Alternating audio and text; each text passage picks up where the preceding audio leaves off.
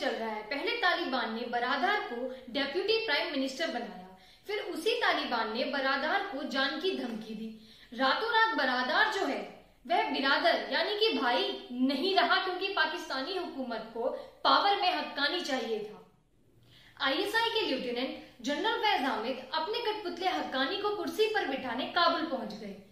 पाकिस्तान खेल तो वही खेल रहा है जो अफ़गानिस्तान में पहले अंग्रेज़ों ने, फिर रूस फिर अमेरिका ने खेलने की कोशिश की थी। तीनों के तीनों देश चारों घाने चित रहे। अब पाकिस्तान की बारी है। तालिबानी मुल्लों और दहशत गर्दों के हत्थे चढ़ेगा पाकिस्तान। हाय रे बाजवा, हाय रे इमरान।